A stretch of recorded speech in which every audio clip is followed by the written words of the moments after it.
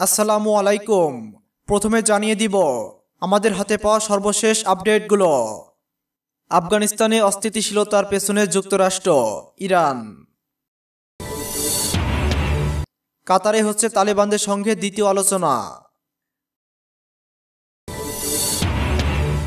তুরস্কের সঙ্গে চুক্তি করতে যাচ্ছে যুক্তরাজ্য।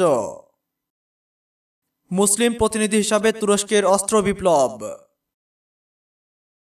দর্শক এতক্ষণ শুনছিলেন সংবাদ শিরোনাম। এখন বিস্তারিত। তবে তার আগে একটি অনুরোধ থাকবে, এই ভিডিওতে কি লাইক দেওয়ার জন্য।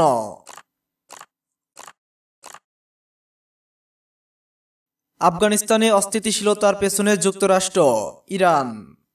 ইরানের পররাষ্ট্র দপ্তরের মুখপাত্র সাইদ খতিবজাদে বলেছেন, রাজনৈতিক উপায়ে আফগান সংকটের সমাধান করতে হবে। তিনি আজ এক সংবাদ সম্মেলনে কথা বলেন। আফগানিস্তানের জাতীয় নিরাপত্তা উপদেষ্টা হামদুল্লাহ মহিবের সঙ্গে ইরানের পররাষ্ট্রমন্ত্রীর গত সপ্তাহের বৈঠকের প্রতি ইঙ্গিত করে তিনি বলেন, আফগানিস্তানে অস্থিতিশীলতায় মার্কিন যুক্তরাষ্ট্রের ভূমিকা রয়েছে।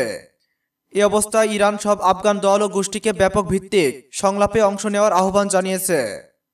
পরমাণু সমঝোতায় স্বাক্ষরকারী দেশগুলোর পররাষ্ট্রমন্ত্রীদের সঙ্গে গত সপ্তাহের বৈঠকের প্রসঙ্গে খতিব জাদে বলেছেন পররাষ্ট্রমন্ত্রী জাওয়াদ জারিফ অন্য সব পক্ষকে পরমাণু সমঝোতায় দেওয়া প্রতিশ্রুতিগুলো মেনে চলার আহ্বান জানিয়েছেন। আমেরিকা পরমাণু সমঝোতা থেকে বের হয়ে যাওয়ায় এই বৈঠকে অংশগ্রহণের সুযোগ পায়নি তারা।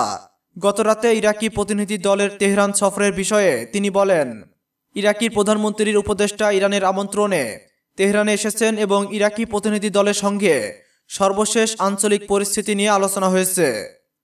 ইরানের পররাষ্ট্র দপ্তরের মুখপাত্র বলেন, ইরানের নীতি হল প্রতিবেশী দেশগুলোর সঙ্গে সুসম্পর্ক বজায় রাখা। তিনি বলেন, মার্কিন যুক্তরাষ্ট্র প্রতিবেশী দেশগুলোকে নিরাপত্তাহীনতার ঘাঁটিতে পরিণত করেছে এবং তেহরান বারবার প্রতিবেশী ও বন্ধু প্রতিম দেশগুলোকে মার্কিন সরকারকে অবজ্ঞার মোকাবেলায় নিজ নিজ দায়িত্ব পালনের আহ্বান জানিয়েছে। ইরানি পররাষ্ট্র দপ্তরের মুখপাত্র বলেন, সোলাইমানিকে হত্যার মাধ্যমে মার্কিন যুক্তরাষ্ট্র বড় ধরনের কৌশলগত ভুল করেছে। এই অপরাধীদের অবশ্যই বিচারের আওতায় আনা হবে। অন্যদিকে, কাতারে হচ্ছে তালেবানদের সঙ্গে দ্বিতীয় আলোচনা। কাতারের রাজধানী দোহায় তালেবানের সঙ্গে তার সরকারের দ্বিতীয় দফা আলোচনা অনুষ্ঠানে সম্মতি দিয়েছেন আফগানিস্তানের প্রেসিডেন্ট আশরাফ ঘানি। আফগান প্রেসিডেন্টের মুখপাত্র সিদ্দিক রোববার এক টুইটে খবর নিশ্চিত করেছেন। খবর আল জাজিরার। তিনি বলেন, তালেবানের সঙ্গে আলোচনায় আফগান প্রতিনিধি দলের নেতা আবদুল্লার আবেদন এবং দ্বিতীয় দফা আলোচনা যথাসময়ে শুরু করার স্বার্থে প্রেসিডেন্ট ঘানি এ বিষয়ে সম্মতি জানিয়েছেন। তবে দ্বিতীয় দফার পরও যদি আলোচনা অব্যাহত রাখতে হয়, তাহলে তা আফগানিস্তানের মাটিতে অনুষ্ঠিত হতে হবে বলে জানান সিদ্দিক। এর আগে আবদুল্লাহ বলেছিলেন, আলোচনার স্থান নির্ধারণের ব্যাপারে সিদ্ধান্তহীনতার কারণে যেন মূল আলোচনা পিছিয়ে না যায়। তিনি কাতারের রাজধানী দোহায় দ্বিতীয় দফা আলোচনার ব্যাপারে নিজের অনাপত্তির কথাও জানান। আগামী পাঁচই জানুয়ারি এ আলোচনা শুরু হওয়ার কথা রয়েছে। প্রথম দফায় আলোচনা তিন মাস ধরে চলে। এদিকে, তুরস্কের সঙ্গে চুক্তি করতে যাচ্ছে যুক্তরাজ্য। প্রথমবারের মতো যুক্তরাজ্য, তুরস্ক তাদের দ্বিপাক্ষিক বাণিজ্য সম্প্রসারণের জন্য একটি চুক্তি স্বাক্ষর করতে যাচ্ছে। চলতি সপ্তাহে চুক্তিটি স্বাক্ষরিত হবে বলে জানিয়েছেন ব্রিটিশ বাণিজ্য মন্ত্রী লিজ ট্রস। সোমবার এই খবর প্রকাশ করেছে আল জাজিরা। এর আগে গত মঙ্গলবার ব্রিটিশ প্রধানমন্ত্রী বরিস জনসন ইউরোপীয় ইউনিয়নের সঙ্গে বাণিজ্য চুক্তি থেকে সরে আসেন। এরপরে তুরস্কের সঙ্গে চুক্তির ব্যাপারে ঘোষণাটি এলো। রোববার এক বিবৃতিতে ব্রিটিশ বাণিজ্য মন্ত্রী বলেন, যুক্তরাজ্য ও তুরস্কের মধ্যকার এই চুক্তি আঙ্কারা ও লন্ডনের মধ্যে বিদ্যমান বাণিজ্য শর্তগুলো শীতল করবে। তাই এ ব্যাপারে আশাবাদী যে দেশ দুটির মধ্যে শীঘ্রই তা চালু হতে যাচ্ছে। তিনি বলেন এই সপ্তাহে যে চুক্তিটি স্বাক্ষর করার প্রত্যাশা করছে, তা উভয় দেশের শুল্কমুক্ত ট্রেডিং ব্যবস্থা বা বাণিজ্যিক সম্পর্ক বাড়াতে সহায়তা করবে। এটি যুক্তরাজ্য জুড়ে উৎপাদন। এটি যুক্তরাজ্য জুড়ে উৎপাদন। মোটর গাড়ি এবং ইস্পাত শিল্পে হাজার হাজার কাজে নিশ্চয়তা প্রদান করবে। আমরা এখন অদূর ভবিষ্যতে যুক্তরাজ্য তুরস্ক বাণিজ্য চুক্তির দিকে নজর দিচ্ছি এবং তুরস্কের সঙ্গে কাজ করার প্রত্যাশা করছি। দু হাজার উনিশ সালে এই ব্যবসায়িক সম্পর্কের পরিমাণ ছিল আঠারো দশমিক ছয় বিলিয়ন পাউন্ড। যুক্তরাজ্য জানিয়েছে যে জাপান, কানাডা, সুইজারল্যান্ড এবং নরওয়ের সঙ্গে চুক্তির পর এটি তাদের পঞ্চম বৃহত্তম বাণিজ্য চুক্তি হতে যাচ্ছে। অপরদিকে, মুসলিম প্রতিনিধি হিসাবে তুরস্কের অস্ত্র বিপ্লব। মাত্র দু দশক আগে তুরস্ক ছিল বিশ্বের তৃতীয় বৃহত্তম অস্ত্র আমদানিকারক দেশ। আর সেই দেশটি দু হাজার আঠারো সালে এসে বিশ্বের চোদ্দতম বৃহত্তম অস্ত্র রপ্তানিকারক দেশে পরিণত হয়েছে। সম্প্রতি ঢাকা এসে দেশটির পররাষ্ট্রমন্ত্রী মেবলুত কাবাসগলু বলেছেন যে তাদের অস্ত্র আমদানিকারকদের তালিকায় এখন বাংলাদেশকেও পেতে চাইছেন তারা।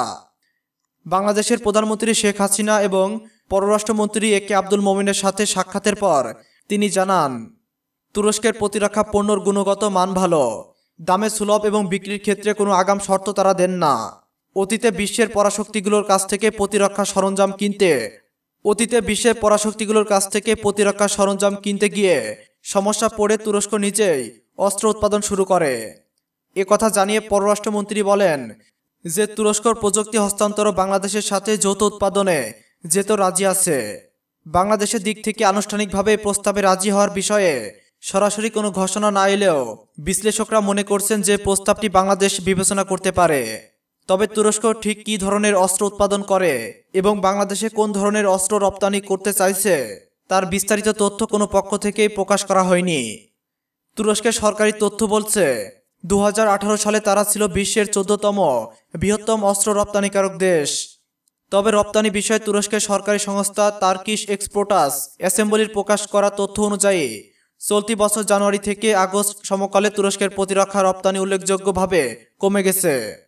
গত বছর একই সময়ের তুলনায় এবার এ সময়ে রপ্তানি কমেছে প্রায় ছাব্বিশ শতাংশ। তবে এটিও ঠিক যে একদিকে করোনা ভাইরাস মহামারী অন্যদিকে অর্থনৈতিক মন্দার কারণে তুরস্কের মুদ্রার অবনমন হয়েছে।